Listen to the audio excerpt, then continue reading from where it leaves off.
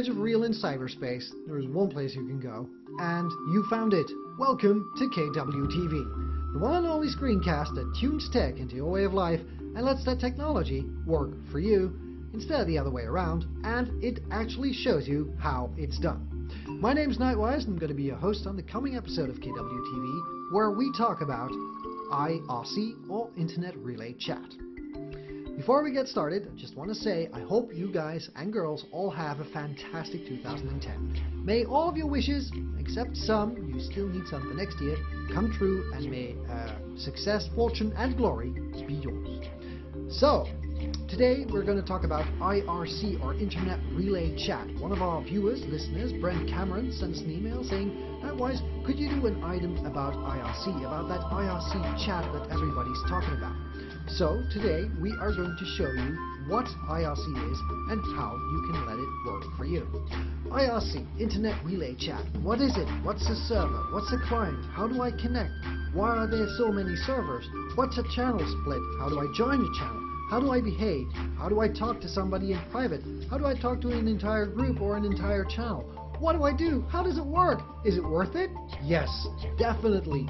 We are going to show you how to work IRC like a pro, like a true geek. Might be something that's 20 plus years old, but it's still a very, very powerful tool, especially if you want to get tech support. So, we are going to show you how to get on IRC using a Windows machine, a Mac, uh, we're even going to show you how to do it using nothing but a browser. And then a Windows machine, a Mac, and a Linux machine. Did I mention that? Yeah, I did. Okay. So we're going to use all of the machines. And we are going to show you how to work with IRC. So, uh, plenty of uh, stuff to show you. Let's get started. The first question that we of course need to answer is, what is IRC? Well, according to Wikipedia, we'll go to the definition, IRC is an open protocol that uses TCP and optionally TLS. An IRC server can connect to other IRC servers to expand the IRC network. Users access IRC networks by connecting a client to a server. There are many client implementations such as mIRC, XChat, and server implementations as the original IRC-D.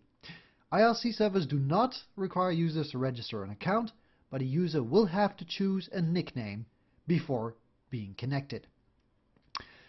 Now, what does this basically mean? IRC is Internet Relay Chat, and for that we need, of course, the Internet. On the Internet, a number of IRC servers are located. There are many of them out there. Uh, for example, irc.realroot.be or irc.free.net. Those are both IRC servers to which you can connect using an IRC client. To each IRC server, there are a number of users who are connected. Some connected to IRC server A, some are connected to IRC server B. Now, connecting to an IRC server to chat, well, you can do that either, you know, with your computer, and you can have an IRC client on your computer to connect, or you can have an IRC client on your smartphone.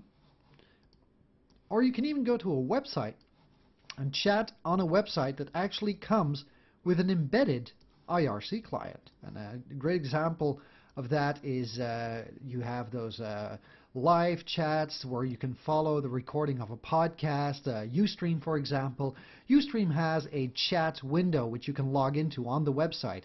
Well, that chat window actually is, is an IRC client that is connected to an IRC server. Now, all of these users are connected to an IRC server, but they're all, you know, in different chat rooms, because that is how IRC works. You connect to a server, and on this server there are a number of rooms you can join and you can chat in. For example, on IRC server 1 we have uh, the chat room hash Linux and the chat room ponies and on server number two, we have uh, the chat room Rickroll, for example, and the chat room hash Windows. Now you can see that there's a hash in front of it. That's not like IRC, a hash tag, but this is actually to, to define the name of the channel. So if you hear somebody talk about an IRC channel, basically saying it's hash this or hash that, that is what they're talking about. Each channel is defined by a hash and the channel name. Now there are some server, some uh, channels that are specific to a certain server. For example, you have uh, the channel Windows on this server and the channel Linux on that server. If I were to put some users into the Linux channel, and I would, uh, let's take two, they can chat to each other, and I put some users in the uh, Windows channel, these guys can chat to each other. But there isn't um, a way that they can connect to each other from one server to the other. Now, there are chat rooms that are mirrored across several servers. For example, if this uh, channel, the Knightcast channel, were to be available on both servers, that would be cool because the persons from server number two who would be chatting in it would be able to meet up with the person from channel number one.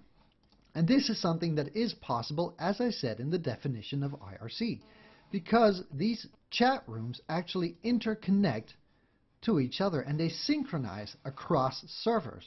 So it doesn't matter if you're connected through server 2 or if you're connected to server 1, if the chat room is synchronized, you can chat on both servers and users from both servers can chat together in the room. That is basically how IRC works.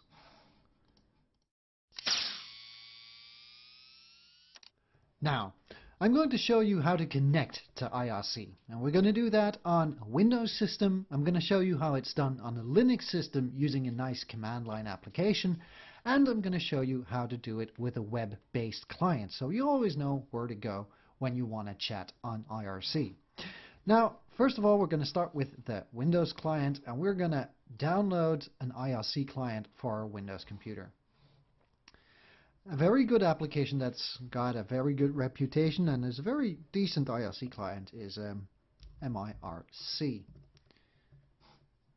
I go to the MIRC website, click on Downloads, download MIRC. It's going to redirect us and we can download the client. MIRC is a free client. You can register if you want to.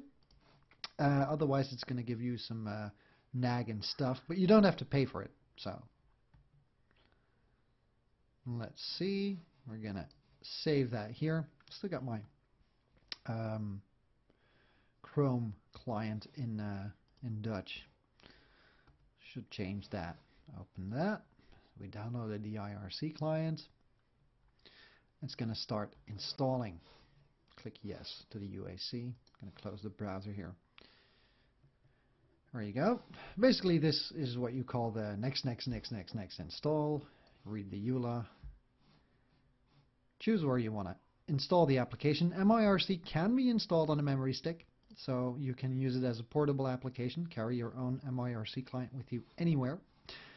you can choose which kinds of uh, installs that you want. You got a full upgrade custom. Just going to go for the full install and uh, leave everything by default and install it. It's a pretty small application and uh, it's well supported. So run MIRC. The first thing that you're going to see after the MIRC client starts up is the option screen. And this option screen will require you to enter some information that you're basically going to need to chat on IRC. So as I did uh, explain in the uh, previous part, IRC basically consists out of three parts. The IRC server, and we're going to have to enter which IRC server we want to connect to in this screen. The chat room that you want to chat to, that's something that we also have to enter, and your personal username on the IRC server or your IRC nickname. So we'll connect, uh, we'll start by the information screen, this one. Fill in your name, your email address. Never put your real email address there. Just put some, some pseudo there, pseudo and your nickname. Now, most servers allow nicknames longer than eight characters. Uh, I wouldn't put one of those uh, teeny uh, teeny Bob MSN uh, nicknames in there with all the colors and the hearts and stuff. You know what the, the, the young kids like to use. I wouldn't go for that. That is not cool. Um, I'd keep my nickname around eight nine characters. Mostly I keep it to eight characters because there are still servers out there that limit your nickname to eight characters and actually abbreviate it after the eighth character. So Knightwise is nine characters. So I'm going to cheat a little. And your alternative nickname. Should it be that your nickname that you chose is taken, it will immediately default to the alternative, which in my case is a clever eight character alternative. You can either choose to chat in invisible mode when uh, where you connect to the server but nobody can see you. We're going to put the we're going to turn that off right now.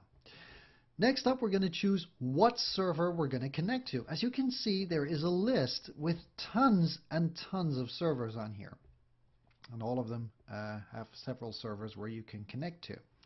Now, in uh, our case, we're going to connect to the Freenode server because basically there are a lot of cool channels on there, and um, it's just an example that I have to, you know, have to show you one server, so why not Freenode? Um, you can actually choose it from this list, like here, Freenode, the random Freenode server. But you know, just say that uh, you want to connect to a server that's not in the list, you can actually add it manually. Click on Add description, Freenode server. I'm going to add it manually again. The name of the server, irc.freenode.net. And you'll you'll hear you'll hear this when people talk about IRC. They go like, "Yeah, join us on this channel on that IRC server." So if they say like, oh, "Join us on Ubuntu on irc.freenode.net," this is where you enter irc.freenode.net. Leave the port by default and just click Add in order to connect to it. Select it, double click on it to be sure. It defaults back to this server. You'll see that you're going to connect to the Freenode server and basically hit connect. It pops up these windows with a lot of text. This is basically text uh, coming, information coming from the Freenode server And this is a, a favorites uh, window that you get, and you can, if you want to, uh, join um, channels in this uh, list. But this list is not complete. These are not all the channels that are on there, and this list is getting kind of old. Windows 95, come on. So what you basically just do is um, uncheck this one, uncheck this one, and click OK. So you won't be bothered by the window again. Now there is one other window that is in front of us and it is filled with all kinds of strange text. This is basically your um, server window. Here the information um, the information that's displayed here is the information that is given to you by the server, by the IRC server, and this is the place where you talk to the IRC server and give it IRC commands. Now it sounds very complicated. Basically, the IRC server is like a big operator. And you can ask uh, to be connected to a certain channel or leave a certain channel from this uh, server window. So in this case, we're going to join the IRC channel uh, of Ubuntu, for example. So we're going to uh, type in the command to join the channel, which is slash, which always prequels a command. Join is the command to join a channel.